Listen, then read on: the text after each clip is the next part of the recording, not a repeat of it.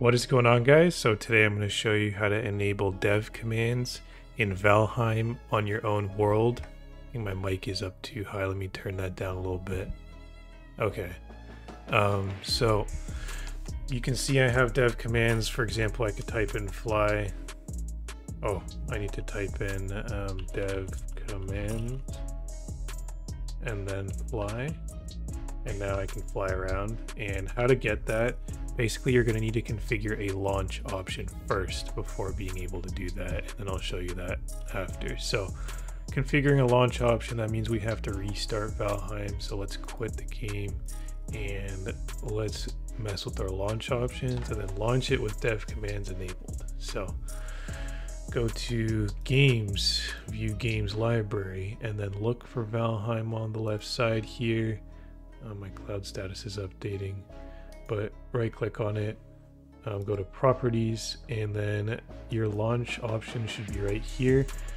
Add in dash console or yeah, dash console like this. I'll put this in the description too, but just do dash console, no spaces or anything. And then you can just close it and then launch Valheim and click play Valheim. Either one doesn't matter. You can use the console, but Yep, now we're launching it again. I'll jump cut to when I'm on my world again, and then we can mess with the dev commands, and I'll show you how to fly again real quick.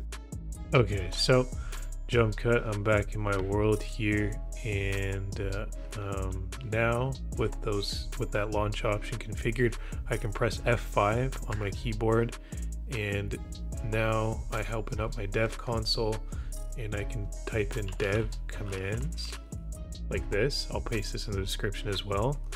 And that basically is like SV cheats in CSGO. It's allowing you to type in cheat commands that um, it even says warning use dev commands is not recommended and done at your own risk.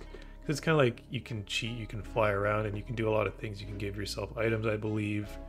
Um, you can level up the items. I, am not sure. I can do a little more research into that, but there's a lot of things you can do.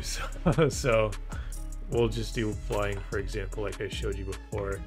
And now if I hold shift, I can fly even faster and you can cover a ton of distance like this. But yeah, you're not supposed to be able to do this, right? So this is dev commands, guys, and that's how you enable it in Valheim. Hopefully you found this video helpful. If you did, drop a like. Don't forget to subscribe and drop any questions you got in the comments. Thanks for watching.